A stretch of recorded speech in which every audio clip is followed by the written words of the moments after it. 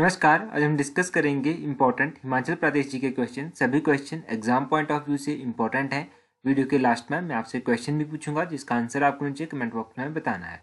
चलिए डिस्कस करते हैं आज की वीडियो का first question question number one है, शिमला रैंक इन स्वच्छता सर्वेक्षण 2019 स्वच्छता सर्वेक्षण 2019 में शिमला का कौन सा स्थान है? देखिए, स्वच्छता सर्वेक्षण 2019 अभी ये रैंकिंग जारी की गई है। इसमें शिमला का जो रैंक रहा है, वो रहा है ट्वेंटी फ़र्स्ट ऑप्शन सी जो है, वो बिल्कुल सही आंसर है। देखिए, ये सर्वेक्षण जो है, वो दो चरणों में करवाया गया है। पहला चरण जो था, उसमें अप्रैल से लेकर जून तक किया गया और दूसरा सर्वेक्षण जो था, वो किया गया जुलाई से लेकर सितंबर तक। तो ये जुलाई से लेकर सितंबर तक किया गया और पहला किया गया अप्रैल से लेकर जून तक। तो जो पहला पहला चरण जो था, उसमें शिमला का रैंक था ट्वेंटी फोर्थ और जो सेकंड रैंकिंग निकाली गई, उसमें जो था, वो शिमला का रैंक आया ट्वेंटी फ़र्स्ट ये आप याद रखें कि पहले चरण में कौन सा रैंक था, दूसरे चरण में कौन सा रैंक था। अब तीसरा चरण जो है, अभी हुआ नहीं है। तीसरा चरण जो है, वो जनवरी में शुरू हो जाएगा। मतलब इस साल के जनवरी में वो शुरू हो जाएगा। तो देखिए, तीन चरणों में ये होगा। पहले और दूसरे चरण का परिणाम जो है, आ चुका है। शिमला ने रैंकिंग की है ट्वेंटी फोर्थ और ट्वेंटी फ़र्स्ट तो ये शिमला की रैंकिंग आप याद रखें। अच्छा बात की जाए पहले स्थान की कि पहला स्थान किसका है? तो पहला स्थान रहा है इंदौर का। तो इंदौर ने जो है वो पहला स्थान प्राप्त किया है। तो ये पहला स्थान किसने प्राप्त किया है? और देखिए, शिमला का कौन सा स्थान रहा है? ये दोनों ही चीज़ें आप याद रखें। नेक्स्ट क्वेश्चन है question number two question number two है drop of life is famous work of which of the following artist drop of life जो है पेंटिंग का नाम है। ये पेंटिंग जो है किस आर्टिस्ट की पेंटिंग है? आपको चार ऑप्शंस दी गई हैं। देखिए ड्रॉप ऑफ़ लाइफ जो है पेंटिंग है निकोलस रोरिक की। ऑप्शन बी जो है, वो बिल्कुल सही आंसर है। निकोलस रोरिक की ये पेंटिंग है ड्रॉप ऑफ़ लाइफ अच्छा इनकी कुछ और फ़ेमस पेंटिंग भी हैं। जिन पेंटिंग्स के बारे में आपको पता होना चाहिए। तो इनकी एक और फ़ेमस पेंटिंग है। वैसे तो इनकी बहुत सारी फ़ेमस पेंटिंग है, परंतु जो इम्पोर्टेंट पेंटिंग्स हैं, उनके नाम आपको पता होना चाहिए। देखिए, एक तो हो गया ड्रॉप ऑफ़ लाइफ और दूसरी जो है वो है the last angel last angel जो है, एक इनकी फ़ेमस पेंटिंग है और ह्यूमन डीड्स भी इनकी एक फ़ेमस पेंटिंग है। तो ये तीन कुछ इंपॉर्टेंट हैं। तीन को, इन तीन को आप याद रखें। द ड्रॉप ऑफ़ लाइफ दूसरी है द लास्ट एंजल और तीसरी है ह्यूमन डीड्स अच्छा निकोलस रोरिक के बारे में आपको पता होना चाहिए। इनका जन्म 1874 में हुआ था। 1874 में इनका जन्म रशिया में जो था, वो हुआ था। रशिया में इनका जन्म हुआ था। अच्छा रशिया में इनका जन्म हुआ था तो ये हिमाचल या फिर कुल्लू कब आए थे? तो देखिए, ये हिमाचल 1928 में जो था, वो आ गए थे। 1928 में ये हिमाचल आ गए थे। उसके बाद इनके नाम पर एक आर्ट गैलरी भी बनाई गई है, जिसका नाम है निकोलस रोरिक आर्ट गैलरी। ये कहाँ पर है? ये नागर में स्थित है नागर कुल्लू में पड़ता है। और देखिए, कई बार एग्ज़ाम में पूछा गया है कि महर्षि के नाम से किसे जाना जाता है? तो महर्षि के नाम से जाना जाता है निकोलस रोरिक को। और इनकी मृत्यु जो थी 1947 में हो गई थी। अगर आपसे पूछा जाए कि महर्षि के नाम से किसे जाना जाता है, महर्षि के नाम से जाना जाता है न्यूक्लियस रोरी को अच्छा पहला क्वेश्चन हमने डिस्कस किया स्वच्छता से रिलेटेड अच्छा स्वच्छता से एक और इंपॉर्टेंट क्वेश्चन बनता है कि सैनिटेशन जो है वो कौन सी लिस्ट में आता है? कमेंट करके आप बताइए कि सैनिटेशन जो है वो कौन सी लिस्ट में आता है? सैनिटेशन सैनिटेशन कौन सी लिस्ट में आता है? देखिए, हमारे पास तीन टाइप की लिस्ट है। स्टेट लिस्ट कॉन्क्रेंट लिस्ट और तीसरी लिस्ट जो है, वो है यूनियन लिस्ट तो इन तीन लिस्ट ये हमारे पास है, इन तीनों में से जो है, वो सैनिटेशन जो है, वो कौन सी लिस्ट में आता है? ये आप कमेंट करके ज़रूर बताएँ कि सैनिटेशन कौन सी लिस्ट में आता है।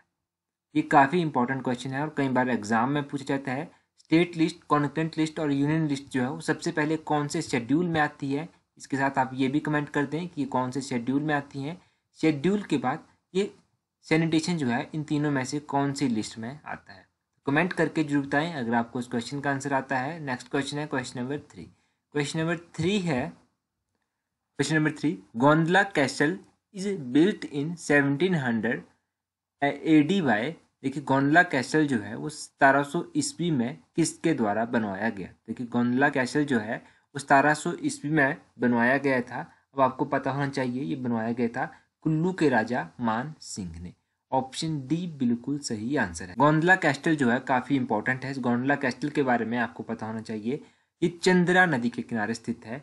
चंद्रा नदी के राइट बैंक पर यह स्थित है। मतलब चंद्रा नदी के राइट साइड में ये स्थित है गोंदला कैस्टल। चंद्रा और भागा जहाँ पर मिलती हैं, वहाँ का नाम है तांडी। अब एक बार क्विकली रिवाइज करते हैं लाहौल स्पीति के बारे में। देखिए, ये जो आप इमेज में देख रहे हैं, यहाँ पर ये है लाहौल स्पीति ये है लाहौल स्पीति। लाहौल स्पीति का गठन ज़िले के रूप में कब हुआ था? लाहौल स्पीति का गठन ज़िले के रूप में हुआ था 1966 में। फ़र्स्ट नवंबर 1966 में जो था, लाहौल स्पीति का गठन ज़िले के रूप में हुआ था। लाहौल स्पीति का टोटल एरिया है thirteen thousand eight hundred thirty five square kilometre the Chang festival Lahaul Spiti में पुरुषों के द्वारा मनाया जाता है। लाहौल स्पीति फॉरेस्ट से हाईएस्ट एरिया कवर करता है twenty seven point four percent Ghantal festival Spiti valley में लगता है, रत्तांग वैली, ग्यास वैली, लाहौल स्पीति में है, पिन वैली नेशनल पार्क 1987 बना था, कुंगरी गोम्पा स्पीति वैली में है, रंगोली दूसरा नाम है, चंद्रा वैली का लारी हॉर्स ब्रीडिंग फार्म जो है लाहौल स्पीति में है, नोनो वज़ीर, लाहौल स्पीति के फ़ेमस वज़ीर थे ग्रिप्पी ग्रुप डांस परफॉर्म किया जाता है, लाहौल स्पीति के लोगों के द्वारा, नामगान फेस्टिवल, लाहौल स्पीति का फ़ेमस फेस्टिवल है मुराबिन मिशन लाहौल स्पीति पहुँचा था 1853 में। स्पीति को कुल्लू के राजा मानसिंह ने जो था, सतारह सौ ईस्वी में इन्वेट किया था और स्पीति जो था, वो कुल्लू के अधीन 1846 तक रहा था। थिरोट प्रोजेक्ट, रोंगटोंग प्रोजेक्ट लाहौल स्पीति में है। गोंदला कैशल जो है, वो सतारह ईस्वी में कुल्लू के राजा मानसिंह के द्वारा ही बनवाया गया था। तो बेसिक से क्वेश्चन है लाहौल स्पीति के बारे में इन क्वेश्चन को आप याद रखें। Question number four Suhi fair held held यहाँ पर होगा in Chamba in the month of Suhi मेला जो है, वो चंबा में कब लगता है? किस महीने में लगता है? तो ये अप्रैल महीने में लगता है। ऑप्शन बी बिल्कुल सही आंसर है। अच्छा अब चंबा में लगता है सूही मेला। तो फेयर्स और फेस्टिवल की बात हुई है। जितने भी इंपॉर्टेंट क्वेश्चन फेयर और फेस्टिवल से बनते हैं, उन सभी क्वेश्चन को एक बार रिवाइज करते हैं। शिवरात्रि मेला जो है फाल्गुन के महीने में लगता है। सैर मेला सौज महीने की पहली तारीख को लगता है। मणिमहेश मेला सितंबर महीने में लगता है। मणिमहेश यात्रा समाप्त हो जाती है। राधा अष्टमी के दिन फ्लैच फेस्टिवल बाधों और असौज के महीने में लगता है, लद्राचा मेला किब्बर में लगता है, जुलाई और अगस्त के महीने में। चारवेल फेस्टिवल बाधों के महीने में लगता है, छतरारी यात्रा अक्टूबर महीने में शुरू होती है मिंजर मेला second Sunday of Shravan month को लगता है और third Sunday of Shravan month को ये समाप्त हो जाता है। सुही मेला जो है वो फिफ्टीन ऑफ़ चैत को लगता है और फ़र्स्ट ऑफ़ बैशाख को ये समाप्त हो जाता है। चैत महीना, अप्रैल एक ही मतलब है इसका, Renuka fair in September district में लगता है और ये दिवाली के दस दिन बाद लगता है। बरलाज फेस्टिवल सोलन और बिलासपुर में दिवाली के दो दिन बाद लगता है। पत्थर का खेल मेला हलोक धामी में लगता है। दिवाली के दो दिन बाद कार्तिक मंथ में विशु बेशोआ बैसाखी फेस्टिवल जो है, वो ज्येष्ठ के महीने में लगते हैं। काहिका मेला कुल्लू में लगता है। सोवी यात्रा जो है, वो श्री नारायण देवी जी से संबंधित है। घंटाल फेस्टिवल लाहौल स्पीति में लगता है जून के महीने में। तो बेसिक से क्वेश्चन आप याद रखिए, फेयर और फेस्टिवल से रिलेटेड। क्वेश्चन नंबर फाइव है इन which year Bara Shigri glacier cause the great havoc in Chandra valley इस वर्ष जो था, वो बड़ा सिगरी ग्लेशियर ने जो था, वो चंद्रा घाटी में भारी तबाही मचाई थी। देखिए, बड़ा सिगड़ी ग्लेशियर ने जो था, वो चंद्रा घाटी में 1936 में भारी तबाही मचाई थी। ऑप्शन डी जो है, वो बिल्कुल सही आंसर है। 1936 में इस ग्लेशियर ने भारी तबाही मचाई थी और इसी के परिणाम स्वरूप बाद में जो था, वो चंद्रताल झील का निर्माण हुआ चंद्रताल झील का निर्माण भी बाद में चलकर इसी के परिणाम स्वरूप हुआ था, ये भी आपको पता होना चाहिए। और कब इस ग्लेशियर ने तबाही मचाई थी? 1936 में। अगर एग्ज़ाम में क्वेश्चन पूछा जाए कि 1936 में चंद्रा वैली में किस ग्लेशियर ने भारी तबाही मचाई थी तो याद रखिएगा, बड़ा सिगड़ी ग्लेशियर ने ही तबाही मचाई थी। अच्छा बड़ा सिगरी ग्लेशियर की बात हुई है, बड़ा सिगरी ग्लेशियर की लंबाई और चौड़ाई कितनी है? तो देखिए 25 किलोमीटर इसकी लंबाई है और तीन किलोमीटर इसकी चौड़ाई है।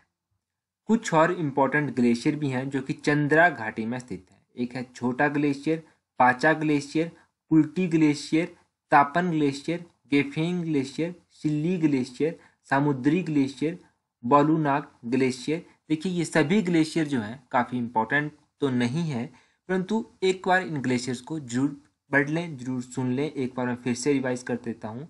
Chhota Shigri glacier, Pacha glacier Pulti glacier, Sipting glacier, Tapan glacier, Gephang glacier, Silli glacier, Samudri glacier, Balunag glacier और दिंग कर्मो ग्लेशियर।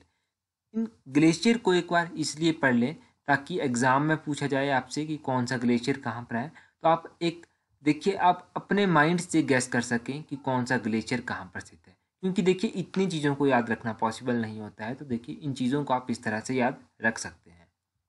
एक बार इन सभी चीज़ों को पढ़ ले और एक दो बार जब आप इनको रिवाइज करेंगे तो इजीली आपको ये याद हो जाएँगे। देखिए, आज हमने इन चीज़ों को पढ़ लिया, इसके बाद हम एक बार फिर से रिवाइज करेंगे तो इजीली आपको ये याद रहेंगी। Question number six तेभंगस्टन is a type of marriages among देखिए तेभंगस्टन जो है, वो एक शादी की टाइप है तो ये कहाँ पर प्रचलित है? किन लोगों के बीच प्रचलित है? आपको पता होना चाहिए, ये जो है लोहलीज के बीच में स्थित है, प्रचलित है। ऑप्शन सी जो है, वो बिल्कुल सही आंसर है इस क्वेश्चन का। ये जो है, एक अरेंज मैरिज टाइप है। ये एक अरेंज मैरिज टाइप है, ये भी आप याद रखें। क्योंकि कई बार पूछा जाता है, इन रिलीजन के बारे में, शादियों के बारे में डाइवोर्स के बारे में, इन चीज़ों को धीरे धीरे जब आप पढ़ेंगे, तब आपको ये याद हो जाएँगी। रट्टा नहीं मारना है। साथ साथ में पढ़ें रिवाइज करें ताकि आपको ये इजीली याद हो जाए। देखिए, लाहौल में जो कुछ शादी के प्रकार हैं, वो इस तरह से हैं। तेवांगस्टन जो तेवांगस्टन और मोतेबियन जो है, वो एक अरेंज्ड मैरिज है। कुंची ब्याह जो है, वो भी एक अरेंज्ड मैरिज है। और कुआंची ब्याह जो है, ये एक भागकर की जाने वाली शादी है। और पुपडा छाड़चे जो है, ये एक डाइवोर्स का प्रकार है। मतलब इस प्रकार को करके जो है, इस तरह का रिचुअल्स को करके जो है वो डाइवोर्स कंप्लीट हो जाता है लाहौल स्पीति के लोगों के बीच, लाहौल के लोगों के बीच। तो ये लाहौल के कुछ मैरिज के टाइप हैं और एक डाइवोर्स का टाइप है, इसको आप याद रखें। अगर आपसे एग्ज़ाम में कुछ पूछा जाए तो आपको बेसिक आइडिया होना चाहिए। क्वेश्चन नंबर सेवन है in the beginning Madhyan Theog, Ghundi were fiefs of देखिए स्टार्टिंग में जो था, वो मध्यान ठियोग और घुंडी जो था, वो किसकी जागीर थी? देखिए ये जो था, ये क्योंथल की जागीर हुआ करती थी ऑप्शन सी जो है, वो बिल्कुल सही आंसर है। क्योंथल की जागीरें होती थी ये मधान, ठियोग और घुंडी अच्छा क्योंथल की बात हुई है तो क्योंथल के बारे में मैं बेसिक्स आपको बता देता हूँ। देखिए, क्योंथल की स्थापना जो थी, वो की गई थी गिरी सेन के द्वारा 1211 ईस्वी में। और क्योंथल जो था, वो 1379 में फिरोज शाह तुगलक के अधीन आ गया था। और जिस समय गोरखाओं ने आक्रमण किया था, उस समय क्योंथल के जो राणा थे, उनका नाम था राणा रघुनाथ सेन। और राणा रघुनाथ सेन जो था, वो गोरखाओं के डर से भागकर जो था, वो सुकेत चले गए थे। और जब अठारह का विद्रोह हुआ, उस समय क्योंथल के राणा थे, राणा संसार सेन। और राणा संसार सेन ने इस विद्रोह में जो अठारह को विद्रोह हुआ था, उसमें अंग्रेज़ों की सहायता की थी। इसके लिए इन्हें राजा का खिताब भी दिया गया था और खिल्लत भी इन्हें प्रदान की गई थी। और देखिए, क्योंथल जो था क्योंथल के राजा ने जो था 1884 में जो था, वो कसुम्पटी को जो था, वो ब्रिटिश सरकार को लीज पर दे दिया था। ब्रिटिश सरकार को पट्टे पर दे दिया था। और अगर बात करें कि क्योंथल के अंतिम राजा कौन थे तो क्योंथल के जो अंतिम राजा थे, उनका नाम था हितेंद्र सेन। ये आप क्योंथल के बारे में याद रखिए। क्योंथल के पहले राजा कौन थे, अंतिम राजा कौन थे? अठारह सौ सत्तावन का विद्रोह जब हुआ था, उस समय क्योंथल के राजा कौन थे? क्योंकि ये बिल्कुल बेसिक क्वेश्चन है क्योंथल से रिलेटेड क्वेश्चन नंबर एट है, बिल्कुल बेसिक क्वेश्चन है। देखिए थोड़ा सा घुमाकर ये क्वेश्चन है। Capital of Bushahr was shifted from Kamru to Sarahan in Bushahr की राजधानी कामरू से सरहान को कब स्थानांतरित की गई थी? देखिए बुसहर की राजधानी कामरू से सरहान को स्थानांतरित की गई थी टेंथ सेंचुरी में। ऑप्शन सी इस क्वेश्चन का सही आंसर है। कई बार एग्ज़ाम में इस तरह से क्वेश्चन पूछा जाता है कि बुसहर की राजधानी कामरू से सराहान को किसने स्थानांतरित की थी?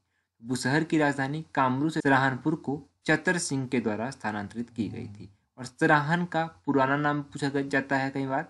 सराहान का पुराना पुराना नाम था सोनितपुर। सोनितपुर जो था, वो सराहन का पुराना नाम था। और देखिए, बात हुई है बुसहर रियासत की। सबसे पहले तो आपको बुसहर रियासत के बारे में पता होना चाहिए, क्योंकि अगर बेसिक सा क्वेश्चन कोई बुसहर से पूछा जाए तो आपको वो पता होना चाहिए। बुसहर रियासत की स्थापना जो थी वो राजा प्रद्युमन ने की थी और बुसहर की राजधानी जो थी वो कामरू से सराहन को बुसहर के राजा चतर सिंह के द्वारा स्थानांतरित की गई थी। उसके बाद बुसहर के राजा केहरी सिंह जो थे, उन्हें अजानुबाहु कहा जाता था। देखिए, अजानुबाहु इन्हें इसलिए कहा जाता था क्योंकि इनके हाथ जो थे वो बहुत लंबे लंबे थे। औरंगज़ेब ने केहरी सिंह को जो था वो छत्रपति का उपाधि जो थी दी थी।